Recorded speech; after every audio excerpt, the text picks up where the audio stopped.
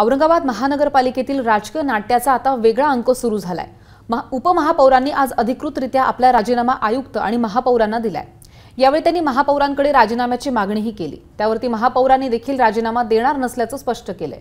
येणाऱ्या काळात भाजपसोबत नसला तरीही उर्वरित असलेला काळ आणि महापालिकेसमोर असलेली आव्हानं पूर्ण करणारच असं महापौरांनी स्पष्ट सांगितलंय.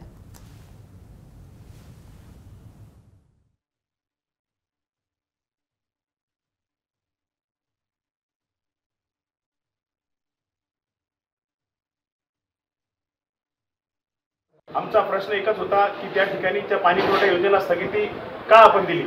त्या संदर्भात आम्ही विचारणा केली असता महापौरांनी त्या ठिकाणी सांगितलं की आपल्याला जर निषेध व्यक्त करत असेल तर सर्वप्रथम आपण आपल्या पदाचा राजीनामा द्या.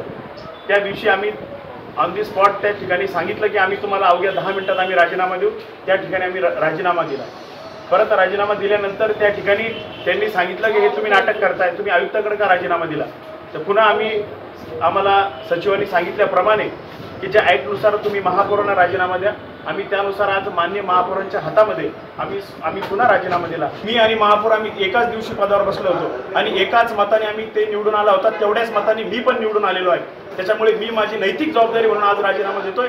महापौरांनी त्यांच्या पदाचा राजीनामा द्यावा अशी मी त्यांना मागणी करतो. मी स्वतंत्र नाही मी शिवसेनेचा महापौर आहे. माझ्या वरिष्ठांचा कंट्रोल माझ्यावर आहे. ज्यांचे वरिष्ठ म्हणतात त्यांनी मला न विचारता दिला. काय समजावं नेमकं काही कळायला मार्ग नाही. पण हरकत नाही. मी राजीनामा देणार नाही. राजीनामा देण्याचा प्रश्नच नाही. अगदी जोपर्यंत माझा कार्यकाळ आहे तोपर्यंत मी जनतेची सेवा करेल. जनतेचा विश्वासघात मी करणार नाही.